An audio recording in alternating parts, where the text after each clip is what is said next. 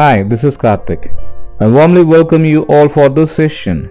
In this session, I'm going to teach you how to configure Gmail using IMAP with Microsoft Outlook 2010. Once again, I repeat the topic, how to configure Gmail using IMAP with Microsoft Outlook 2010. You may ask a question, what is IMAP? IMAP stands for Internet Message Access Protocol. Once again, what is IMAP? I stands for Internet, M stands for Message, A stands for Access and P stands for Protocol. So we are going to configure Gmail by using the protocol IMAP with Microsoft Outlook 2010. In order to achieve this task, we should open Microsoft Outlook 2010. How to open Microsoft Outlook 2010? Quite simple. Go to Start, go to All Programs and go to Microsoft Office and navigate to Microsoft Outlook 2010. Once again I repeat the steps. Go to Start, go to All Programs and go to Microsoft Office and navigate to Microsoft Outlook 2010. Click Microsoft Outlook 2010 in order to open it.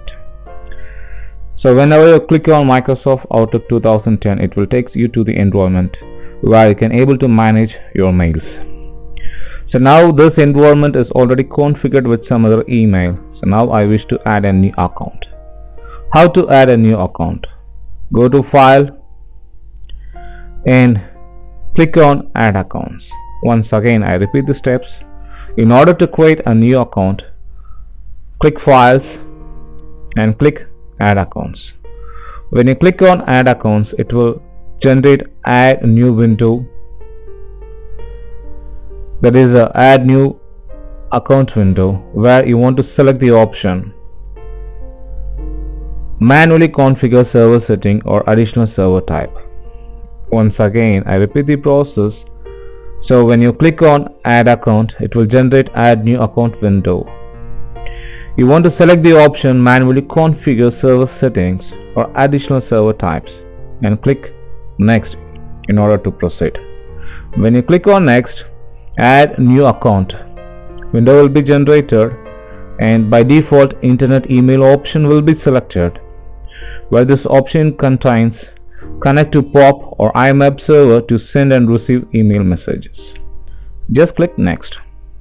So now provide the information. Before that when you click on next add new account window will be generated or popped up where it contains three types of information.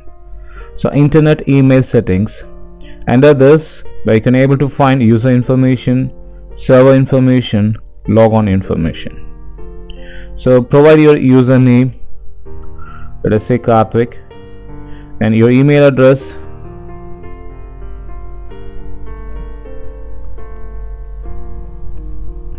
so after in server information now I'm going to use IMAP Internet Message Access Protocol.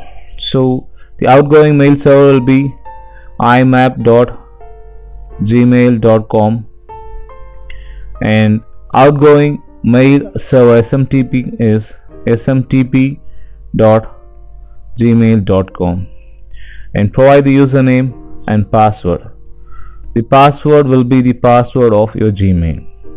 After completing all the required information, navigate to more setting.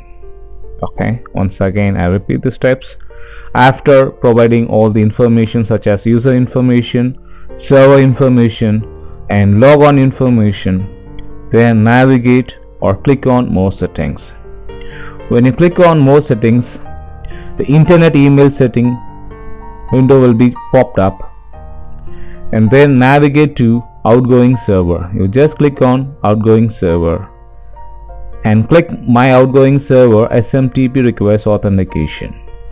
After completing the task navigate to advanced tab and now you want to give the incoming server IMAP is 993 you want to use the port 993 and encryption type SSL and here you want to use SSL and SMTP either you can use 465 or else you can use 587 okay? So again I repeat these steps. When you click on more settings the internet email setting window will be popped up. And then just click on outgoing server and click check the option my out, outgoing server SMTP request authentication.